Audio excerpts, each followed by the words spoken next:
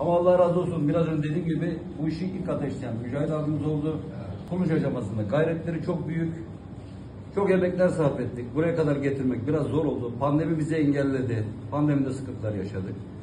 Ama çok güzel bir şey. Yani ben inan bu işin samimiyetle hiçbir beklentisi olduğuna inanmıyorum. Hepimiz buradayız. Hiçbir beklentisi olmadan özveriyle yani bugün biz varız.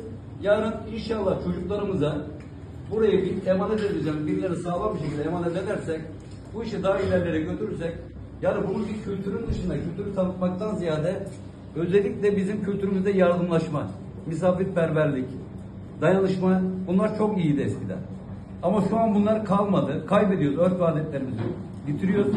Onun için bunu el birliğiyle Allah'ın izniyle bunu bir kültürün dışına taşıyıp daha da ileriye götürüp büyük bir yardım derneği, dayanışma derneği yani güzel hem kültürümüzü yaşatalım hep birlikte. Yani burada hiçbir beklentimiz yok. Hepimiz gayretli. Hepimizin desteğine ihtiyacımız var. Bugün Mücahit abim, ya bugün ben, ya dün oydu, bugün ben, yarın başka biri. İnşallah biz illaki burada başkan olmak veyahut da yardımcı olmak vesaire bizim için hiç önemli değil.